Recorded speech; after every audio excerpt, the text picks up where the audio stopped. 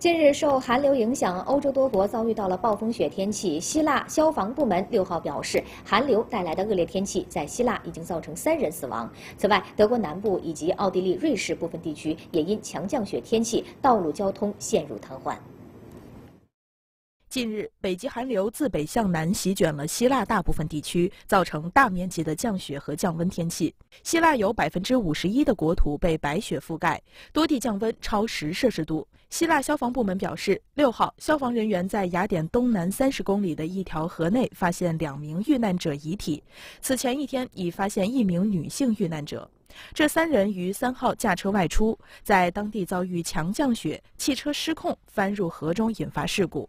此外，大风和雨雪天气还造成部分地区道路封闭、大面积航班延误及轮渡停运。希腊气象部门预测，雅典及希腊南部地区七号晚或迎来降雪。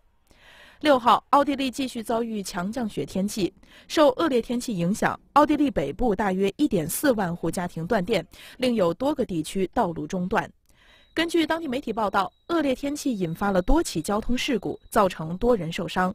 大雪还导致一些高速路段出现拥堵。奥地利气象部门六号发布警告称，阿尔卑斯山北侧有雪崩的危险，北部祖尔斯地区的公路已被关闭，目前还不能确定重新开放的时间。德国东南部的巴伐利亚州以及德国西南部的巴登符腾堡州近日也遭遇大雪天气，慕尼黑机场部分航线延误或取消。据德国警方的消息，一名二十岁的滑雪者五号在奥地利边境附近的泰森山雪崩中遇难。